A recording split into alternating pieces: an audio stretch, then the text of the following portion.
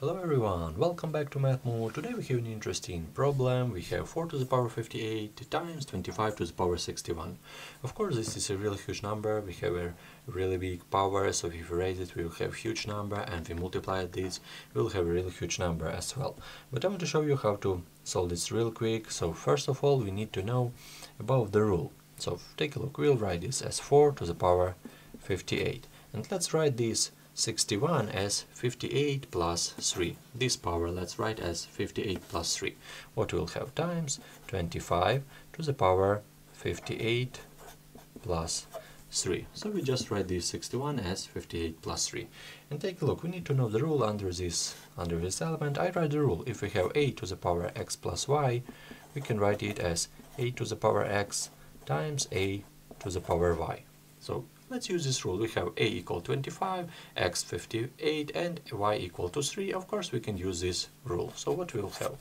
We will have this 4 to the power 58 will be the same and let's multiply this by 25 to the power 58 and let's multiply this by 25 to the power third 25 cube so we just use this rule and just separate this separate this power what are we going to do next? We need to know the rule, because right here we have same powers.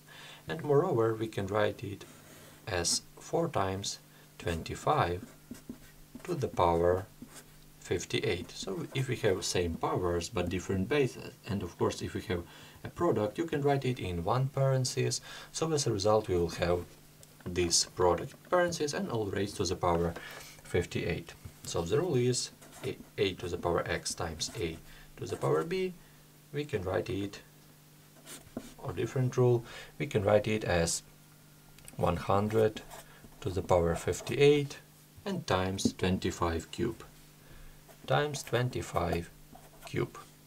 So let's simplify this. Let's simplify this a little bit. Take a look what we'll have.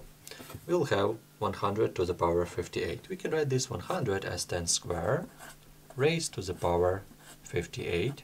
This is our first element, we simplify this, and let's simplify 25 cube. If we multiply this 25 by 25 by 25, we will have 625 times 25, we will have that this we need to multiply by 15,625. And take a look, this is a really good case because right here we need to multiply this 10 by 58.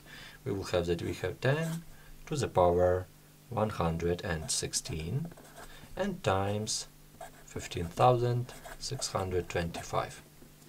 What are you going to do next? Of course we, we may not simplify this, but it's really good case to move this dot right here, for example, if we write this element as 1.5625, we need to add 4, 4 digits, 1, 2, 3, 4 to this power, and we need to multiply this by 10 to the power 120.